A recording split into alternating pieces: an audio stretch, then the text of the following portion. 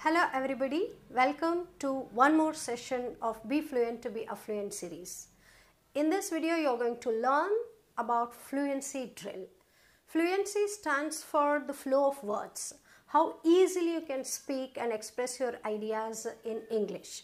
Whatever you think and conceive in your mother tongue, the vernacular language can be expressed in English and it is possible only with practice. Fluency drill gives you the hints as to how you can improve your language ability in while you speak in English.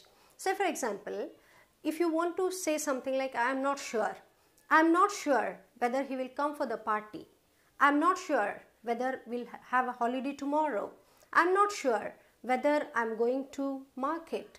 Like this, some 5 to 10 sentences you should frame using a particular set of words the phrases. You should make use of those phrases and continue building your own sentences. As many sentences as you frame, you will become expert in speaking in this particular language. Next example is I don't think. I don't think he can make it. I don't think he can drive a car.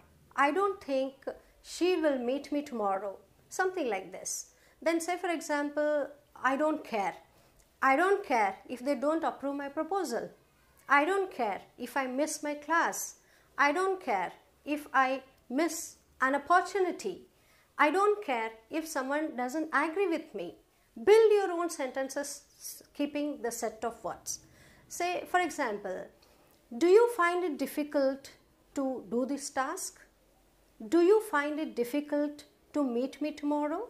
Do you find it difficult to go to Mumbai? Do you find it difficult to fly to America? Like this, you should keep on building the sentences using particular set of phrases. I don't know how difficult it is for you.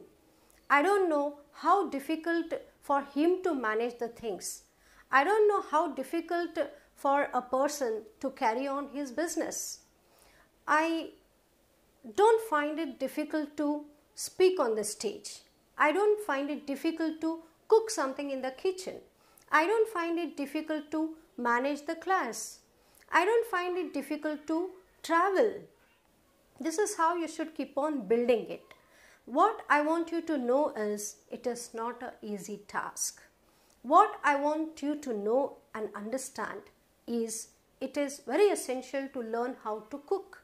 What I want you to understand is to find out the ways how your life can be easy. So would you like to give a try for fluency drill friends?